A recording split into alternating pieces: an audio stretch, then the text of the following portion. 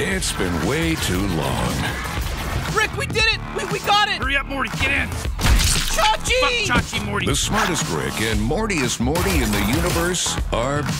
Das Finale der vierten Staffel von Rick and Morty ist endlich draußen. Doch bevor an den Fanaltären wieder die Kerzen für Rick entzündet, die Rick-Shirts angezogen und die Rick-Tattoos geküsst werden, müssen wir in diesem Video leider etwas auf die Spaßbremse treten.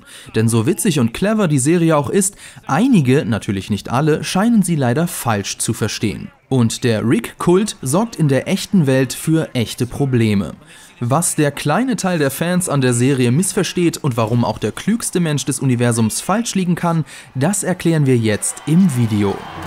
Morty, gotta flip him off. I told them it means peace among worlds. How hilarious is that?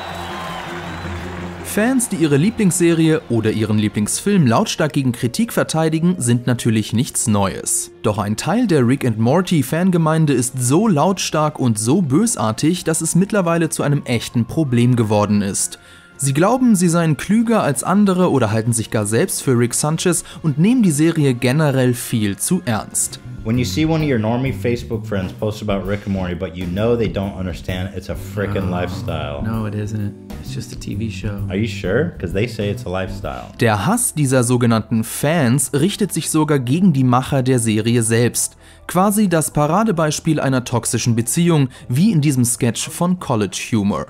I have no idea. I can't get rid of him. I tried to break it off, but he won't leave me alone. Because you're mine, babe. And nobody else gets you like I do. You don't own me. Die Twitter-Nutzerin Casey bringt es in diesem Tweet auf den Punkt. Nachdem in der Popkultur verankert wurde, dass kluge Menschen Arschlöcher sind, benehmen sich Menschen wie Arschlöcher, um klug zu erscheinen. Dieses Verhalten widerspricht schon allein dem menschlichen Anstand, klar, aber wer Rick bzw. die Serie so zelebriert, hat sie wahrscheinlich auch nicht ganz verstanden. Inwiefern? Das hat etwas mit dem Schriftsteller H.P. Lovecraft und dem philosophischen Konzept hinter Rick and Morty zu tun. Denn Rick und seine Familie werden durch die interstellaren Abenteuer oft mit etwas konfrontiert, das kosmischer Horror genannt wird.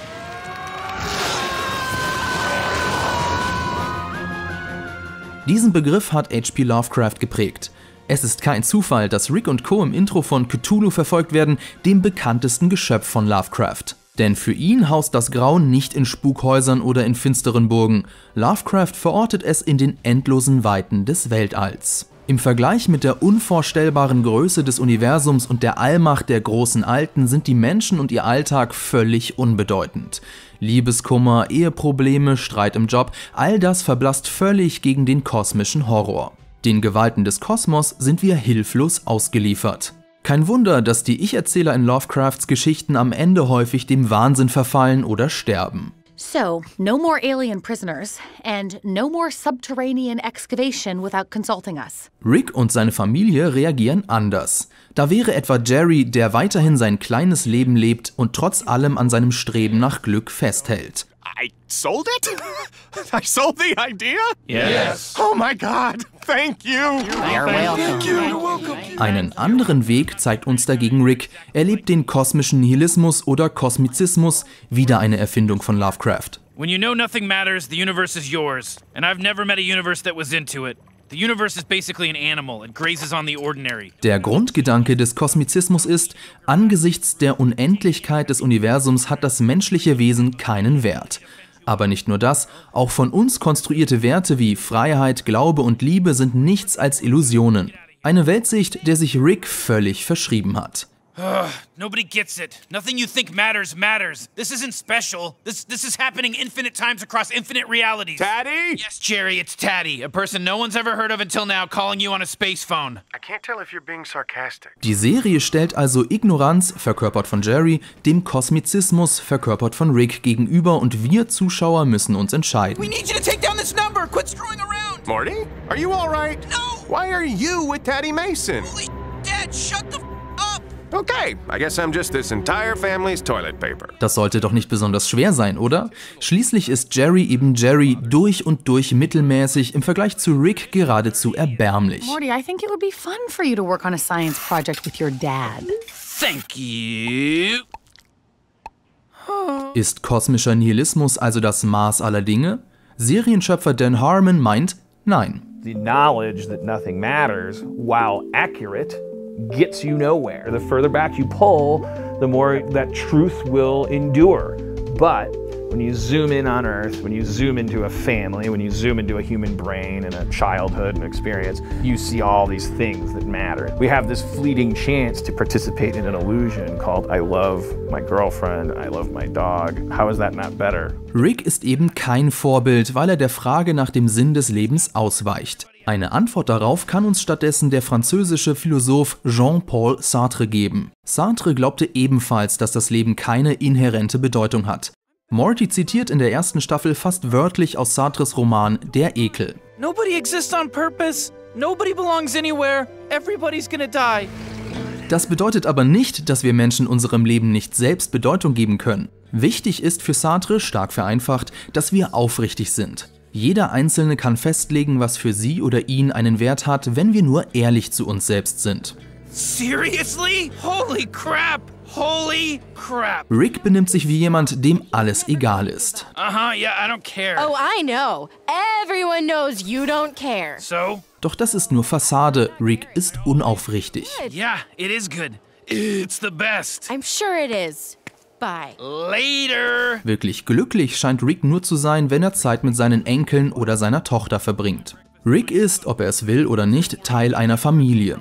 Doch Rick scheint das immer wieder zu verdrängen. Dad, there's a way we do this now. Er steht seinem eigenen Glück selbst im Weg. Would you please accompany me to Forbodulon Prime for death crystals? Aber es gibt noch mehr Gründe, Rick als Idol abzulehnen. Also abgesehen davon, dass er ein Mörder ist, dass er selbst zutiefst unglücklich ist oder dass er anders als wir Zugang zu unendlichen alternativen Zeitlinien hat. Denn Ricks Attitüde ist für den Alltag völlig ungeeignet. Sit still, arms down. I'm gonna do this again. This time, be like Grandpa. Wenn Anstand und Höflichkeit keinen Wert haben, dann macht es auch nichts, sich daneben zu benehmen. Hey, Morty, let me, let me, uh, let me ask you a question real quick. Nur, dass Rick damit durchkommt, weil er eine fiktive Figur ist. Lick, lick, lick my balls!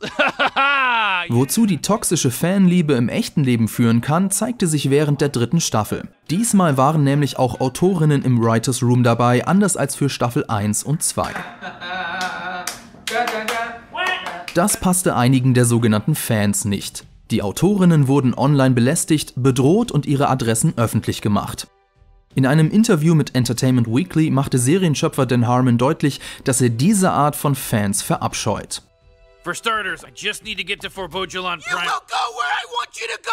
In der vierten Staffel von Rick and Morty macht sich die Serie dann auch wenig subtil über die toxischen Fans lustig. So, uh, what, what are we doing? Stop asking questions, stop doing meta commentary.